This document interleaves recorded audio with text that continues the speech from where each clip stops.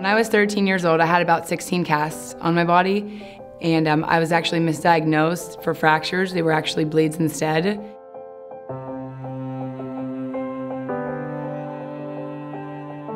I went to my HTC and the doctor looked at my x-rays and he noticed that none of them were fractures or breaks, that I'd actually been treated wrong the entire last 13 years of my life. Because of him, I was able to actually get treatment and have a plan and order my medication and be able to advocate for myself.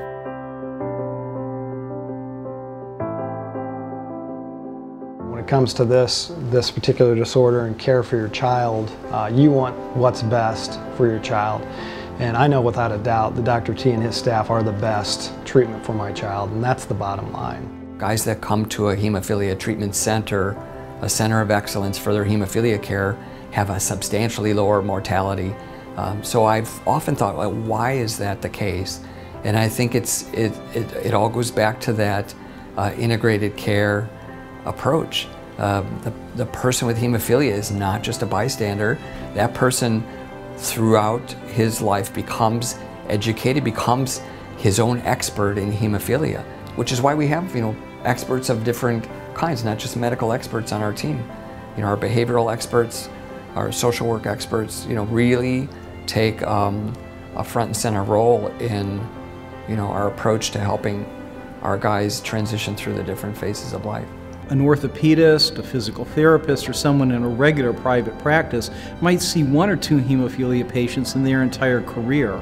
So bringing those sorts of people together in one place to learn about hemophilia and apply that expertise really matters in terms of getting things right the first time so that the patients really have a good experience, but also so that they don't have unnecessary costs, the cost of surgeries, uh, cost of hospitalizations, or the cost of repeated emergency department visits.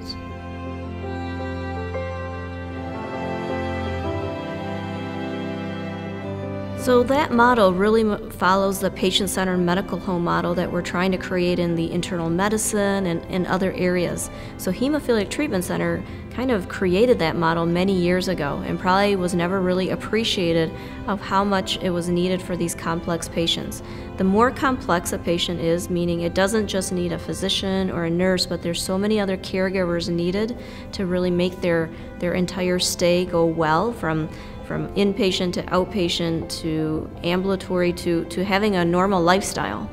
It, it's very important that there's a lot more integration of the individuals talking, but also for payers to understand how they're managing those dollars, because that, for a, a healthcare purchaser, is really what they want to see.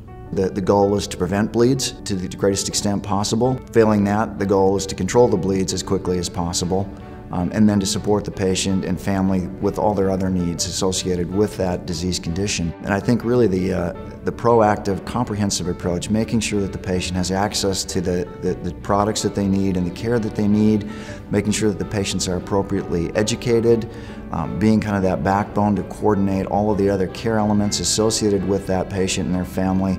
Uh, it just does produce much higher quality outcomes and whenever you have higher quality, almost invariably your costs are better as well. There's quite a diversity in how persons with hemophilia are treated, and I can tell you that those patients who are not treated at hemophilia treatment centers have far worse outcomes. You know, they'll find adult uh, hemophilia patients who um, are in their are in their early 20s that even now in this day and age have terrible joint disease, are wheelchair bound, and when you know their past history comes out, it turns out they were not at a hemophilia treatment center. They didn't know that one existed.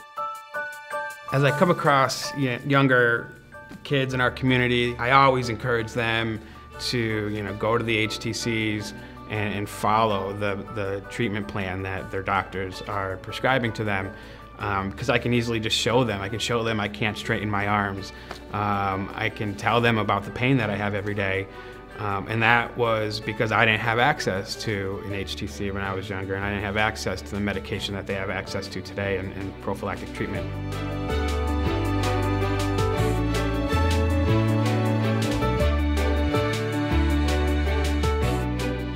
Because hemophilia is a lifelong disorder, I think that medical professionals in our HTCs build relationships with their patients and the families.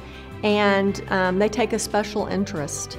And, you know, they come to our chapter events and they visit with families and they care. That's what makes it work, is that uh, you're in contact with your nurse, your social worker, your PT, not just at the annual visit, but throughout the year. You're, you know, when I, to this day, when I have an unusual bleed, I am emailing the treatment center. Young guys growing up with hemophilia today don't know what, um, how devastating hemophilia can be, uh, and we really risk regression uh, because just one or two bleeds can make a huge difference. So the, the care model that hemophilia treatment centers provide uh, actually ties it all together. It's the educational component, it's the optimization of scarce resources, uh, it allows uh, us to maximize uh, limited healthcare dollars, uh, and it ensures that uh, all of the aspects of care are managed, not just the medicine. treatment is, is far more than clotting factor concentrates.